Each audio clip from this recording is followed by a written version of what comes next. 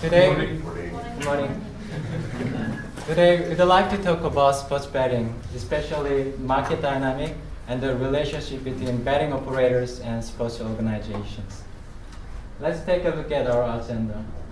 First, brief project introduction.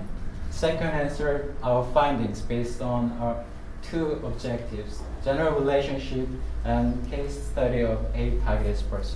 We'll talk about more the targeted sports. And conclusion, we try to make it simple. Our project has been recast by a SportAccord, so client contact person was Sarah, and AI AISTS Amandine was our supervisor. It's been successfully studied by our team.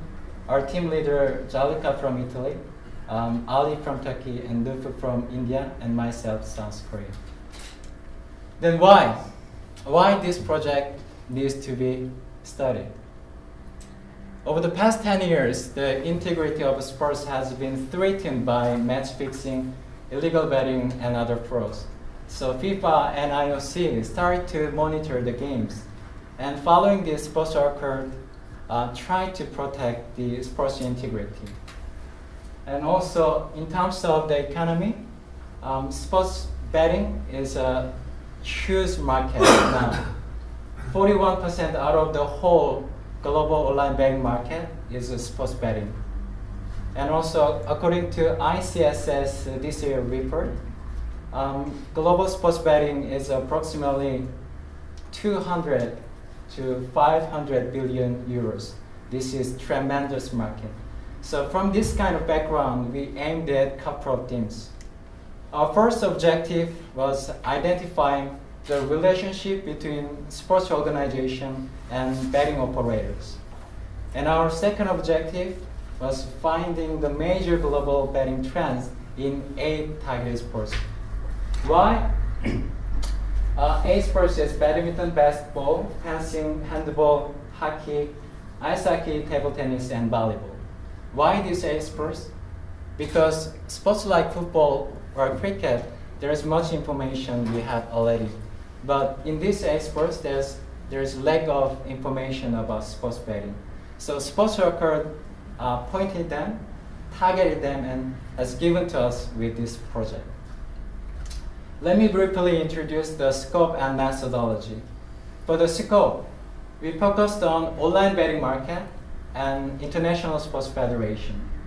And we looked into 20 major international betting operators in terms of activities, the variety of betting offered.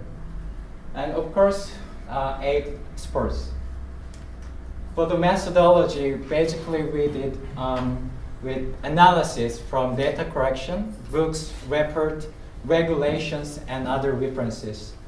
And we took uh, observation 20 major international betting operators' website to identify the betting type and other trends.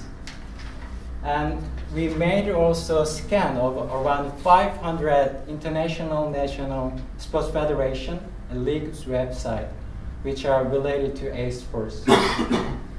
also, attending convention was another method. So actually, we went to Paris to attend ICSS International Center for Sports Security, the convention, in this year in May. And lastly, we made a contact 25 professionals, experts in betting industry. Now, Gianluca will talk about our first finding. Thank you, Phil. So, as Phil mentioned, the first important objective of our project was to identify all the different types of relationships existing between the world of betting operators and sports organizations. To this purpose, we created and conceptualized a proper relationship typology. And we firstly decide to categorize all the relationships found into two big categories, which are, are the financial relationships and non-financial relationships.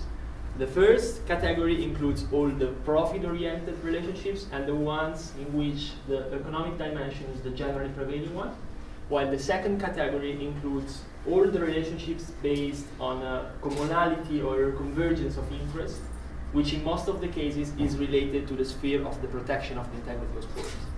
Now I'll briefly go over, uh, offer you an overview of all the relationships, starting from the financial side. So we have sponsorship, partnership deals, advertising, acquisition of audiovisual rights, and these are the relationships, the financial relationships in which the commercial dimension is manifestly predominant.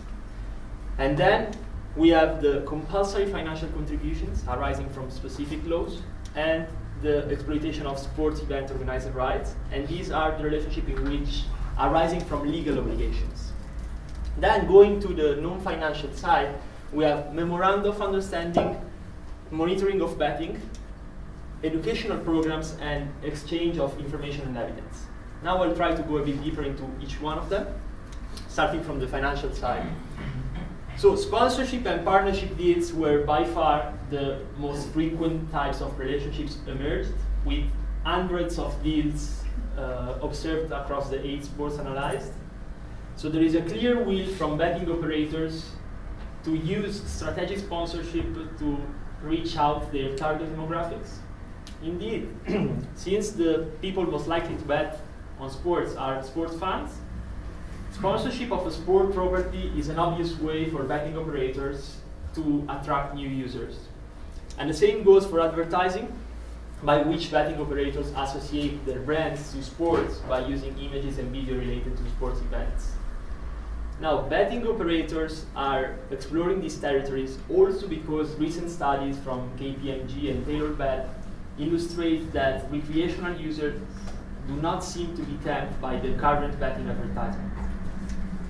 Then we have the acquisition of audiovisual rights, and these relationships is related to a new, uh, a new, with let's say, to the, develop, the development of live betting, Indeed, betting operators tend to acquire broadcasting rights in order to provide their customers with live streaming during, throughout their betting activities.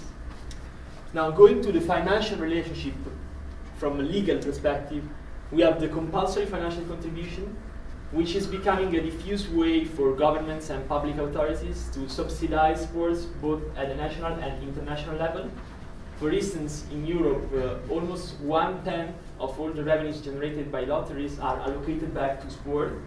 In 2013, almost 2 billion. And of course, for the scope of our project, it should be underlined that in Europe, almost all lottery providers also offer betting in their services.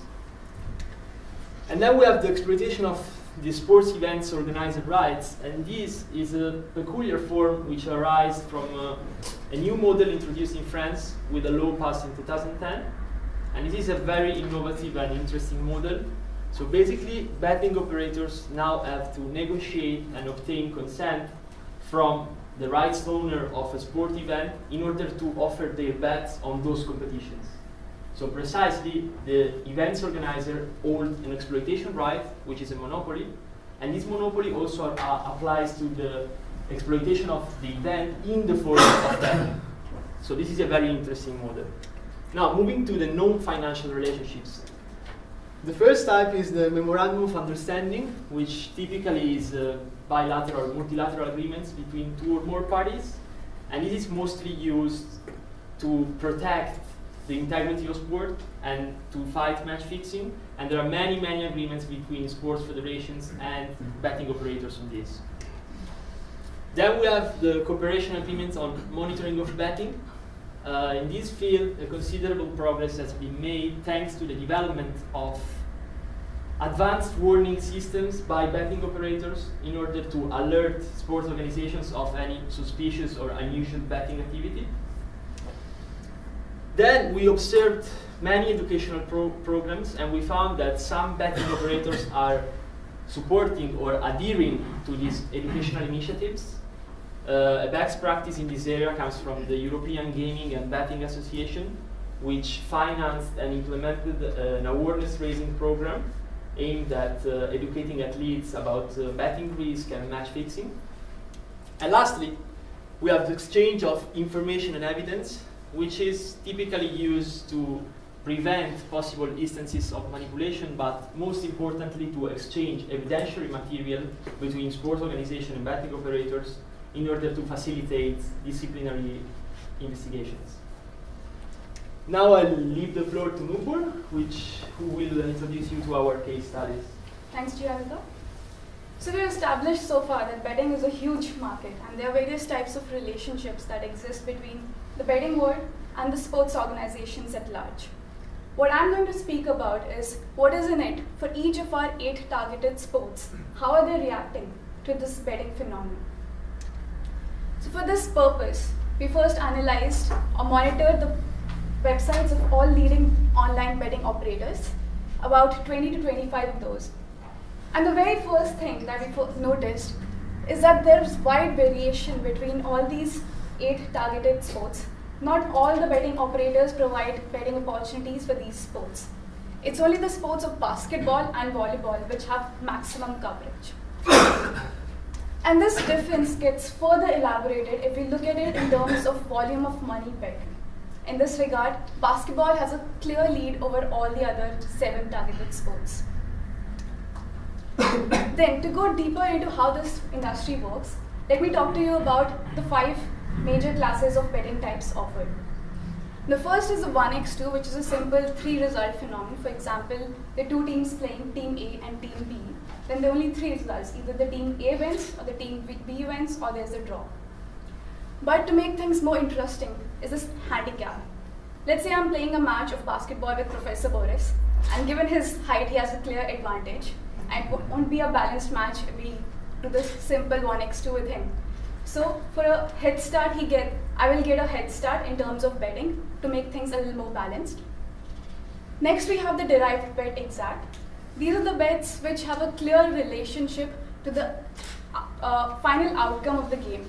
For example, the halftime win winners, the total number of, uh, the total margin of victory. Next, we have the derived bet over or under, which relates to a particular statistic of the game. Let's say for a match of hockey, the bet is total number of goals will be more than five, and if I score three, and Professor Boris scores one, there are only four, and we lose overall because the total number is four. Now the next one, proposition, which is my personal favorite, is the most creative type of bet. Here you can see any type of uh, betting ranging from the total number of yellow cards that will be there or the color of the socks that I'll wear for my game. And uh, given this definition, it's quite natural to see that the maximum variation of sub-betting types within these are noticed for the proposition type of bets. Now, as Phil pointed out, the major betting risks are for the bigger games like football, golf, or cricket. But for the eight targeted sports, the risk is not so huge right now. But the case might not be so in the future. The question is, are the federations prepared for it in terms of the regulations that they have in place? The answer is yes and no. At a basic level, all the regulations have all the federations have regulations in place to prevent the athletes or the officials to participate in betting. But if we go a level down and see that the whether the federations have the regulations to prevent the athletes promoting their friends or relatives to participate or to share insider information with them, well, not all the federations have such regulations in place. Also, not all of them have clear penalties laid out as to what happens to the athlete if they are found guilty. And there are also certain good best practices that can be observed. For example, the Badminton Federation has a very unique whistleblower system in which anyone can anonymously report if any kind of suspicious betting activity is observed. So it gives the Betting Federation a good monitoring system as to what's going on in the betting. Now on a brighter side, the betting world, uh, the sports organizations are also using this phenomenon to their advantage. There are dozens and dozens of sponsorship agreements that can be observed with, from the federations to the betting operators. And this is the case across the eight targeted sports. Now I'll let Gianluca conclude our summary. Thank you, Nupur. So now I would like to sum up and illustrate our conclusions. So here we have the key takeaways that we would like you to leave with today. So first of all, the sports betting segment currently stands at the phenomenal, mar phenomenal market value, and its expansion is expected to continue growing over a global scale. Also thanks to the increasing liberalizations of the betting markets around the world, and thanks to the develop development of live betting and mobile gambling. Then multiple financial and non-financial types of relationships exist between betting operators and sports organizations, but sponsorship is the only well-leveraged one. From our case studies, basketball and volleyball seems to be the most popular sports among betting operators within the eight sports studies studied. And lastly, federations have only basic level of regulations in place to keep betting in check. Now, given the enormous volume of turnover generated by the betting industry, it is crucial for all the sports stakeholders and all the stakeholders involved in sports organizations to develop a close cooperation with operators in order to leverage the economic opportunities related to these activities, but at the same time mitigate the risk, the intrinsic risk uh, related to these practices. So for these reasons, assuming the perspective of sports federations, we would like to briefly sum up some of the opportunities and risks that we found in our identify in our project. So from the opportunity side, the potential economic return is huge. So this can certainly create new revenue streams for sports organizations. And for this reason, the relationship typology that we created in our report can be used as a guiding point for sports federations to establish profitable association with betting operators. Then it should be taken into consideration the fact that new betting laws are currently being studied, and possibly the French model will be replicated in other states soon, and this is a very interesting case. And lastly, because of its success, betting should be also seen as a medium to engage new fans. Now, going to the risk side, as we mentioned, regulations of federations are not stringent enough to mitigate betting risk, and therefore there is a clear need for harmonized model rules on this. Similarly, specific guidelines addressing the potential conflict of interest within governance of sports organizations are required. And the best practice in this area comes from European lotteries, which in 2013 established a code of conduct for their members uh, in order to prevent their members to have any possible conflict of interest with sports organizations. Sports organizations should also take into account the reputational damages and collateral effects which may derive from an association with betting operators. Namely, the negative image, gambling addiction, but also impact on young people, for example, and, it, and to conclude, it is not the case that some federations have already banned betting sponsorship and advertisement for their competitions.